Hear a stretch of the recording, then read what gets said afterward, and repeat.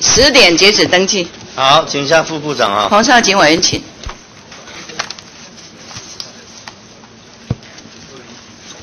彭委员好。好，以后这个报告哈，不要这样念好不好？这我们大家眼睛都看过了，从小到大就是读书哎，已经读了，这样念这样念哈，就是最好哈，要摘要一点啊，摘要一点，是这个方向哈。军人悉数实践嘛，是啊，安庆坚强，确实速捷速捷沉着忍耐，机警勇敢。的啊，这个速捷呢太慢了，对，慢慢练了就拖时间没什么意思哈。那我看那个中科院好，呃，国那个最后一项那个军民通用科技发展事业一般服务费好像没有说明是吧？一那个般服务没有不用专案报告。是因为那个要求就是我们定定的一个标准，那定定标准只要行行政院不已经定核已经核定了，啊。行政院已经核定了，所以已经已达到解冻的这个条件了啊，所以不用报告了。是现在啊，我我们这个最近看的这个利比亚战争啊，是，从这个战争有没有给我们台湾一个启示？那当然，任何国际上任何的这些战有争这些部分是什么？可以让我们了解，呃，现在所有作战的战略的部署你是把我们战术的运用，假想成利比亚，还是联军假想成这个共军？那这个当然，这个有点有点不一样啊。如果以现在来讲，像联军十一个国家这一，次的战争方式好像哈不是用地面部队了。我们现在目前没有中共将来的方式是不是也是这样？如果是这样的时候，你们要怎么应应？那如果他地面部队要进来，你们怎么应应？或者说所以这就是瘫痪什么地方？哎，是重要设施还是直接斩首？这个我需要国防部啊要好好研究一下。是的，是的，国防部也成立了专案的研究小组，嗯从二十一号，然后每天都会做研析、嗯掌握，然后他的这些战术战法、这些的作为，可以作为我们很多的一个参考。那这个啊这次啊，上一次那个一月份的啊，平东九峰基地飞弹测试啊，是上一次是十九枚啊，啊只中了十三枚啊，有六枚会中，打击率啊，这个成功率啊六成八了，不到七成了。那么这一次呢，怎么搞的变成五成而已呢？啊，你看王振霄念那么久哎，一开始我就不太欣赏了，念得那么啰里吧嗦哎，一点没有军人那样速效率哎，怪不得命中率那么差哎。不是跟委员报告，因为这个是我们一百年精准武器的一个实弹射击，就是年度内规划的一个不是不是，这一次有可能是因为上一次不好，所以是你你再次指责这些厂商，指责这些军火商或指责这些下面单位，上一次的借口是什么飞弹老旧啦、场景设计不好啦，或者是这个靶机啊啊有问感应有问题等等，有有借口。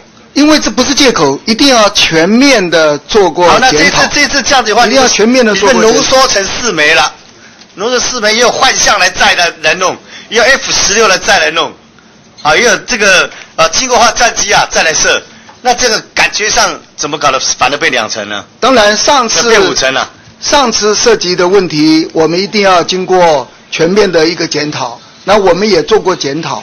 那检讨完了以后，把所有的场景、所有的弹药，那那灾次的原因是什么？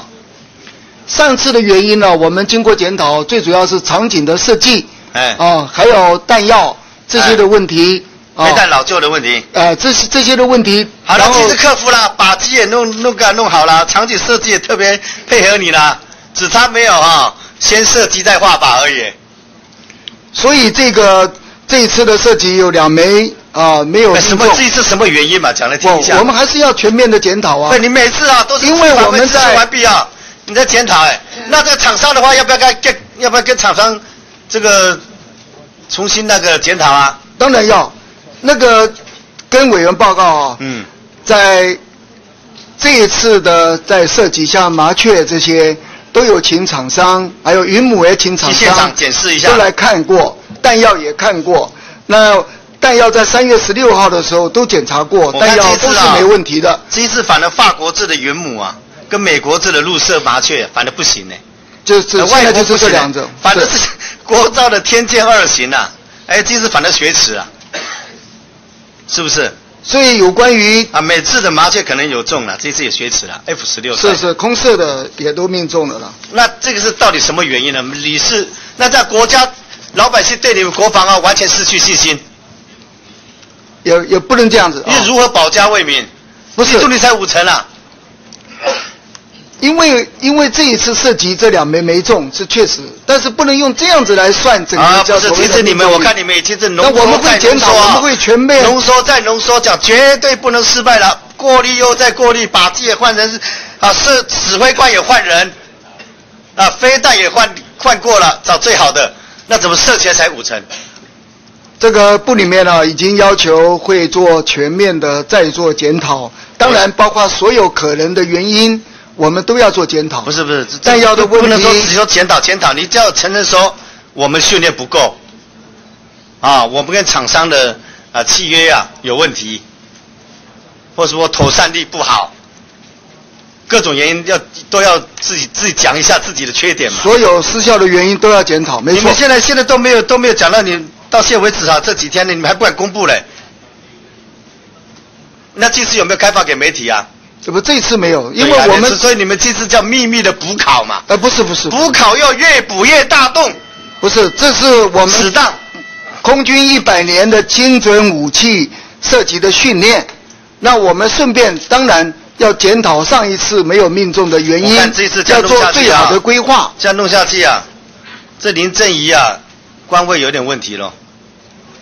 哦，这个啊，包括你个人呐、的升迁也会有有点问题了。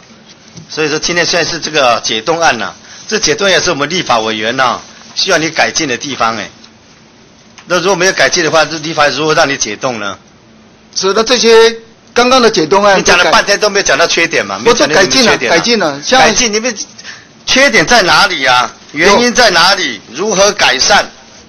你连缺点都没有找出来，如何改善呢？改进了，像当时所质疑的气缸头的问题，啊，那个气缸头都已经咨询过了，改进了。那是当时的一个个案，就执行过了，不要再讲这些。我就讲的这个四个枚飞弹连只中五成的命中率，不是坠海就是擦棒球，这怎么可以呢？这些我们会全面再做检讨你。到现在为止也没有跟我们讲答案嘛？我们立法会要知道就是原因，改善的方法，你都没给我答复，这我为什么再检讨？我再查一下，我再查一下，这没意义啊！这样回答没有意义。因为我们会根据弹药的状况，还有这个人员训练的状况，还有飞弹之失效的这你个整个过程三，次的这些我们都上一次的调查报告有没有出来？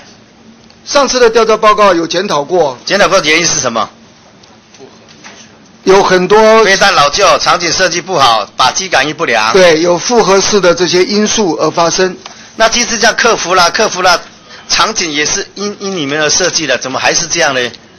因为跟委员报告，事实上来讲，有弹药的状况这些啊，这个检查的时候啊，检查的时候都是好的。好了，说这个是非常我我专业问你，你你答不出来，我现在过去问一下部长好不好？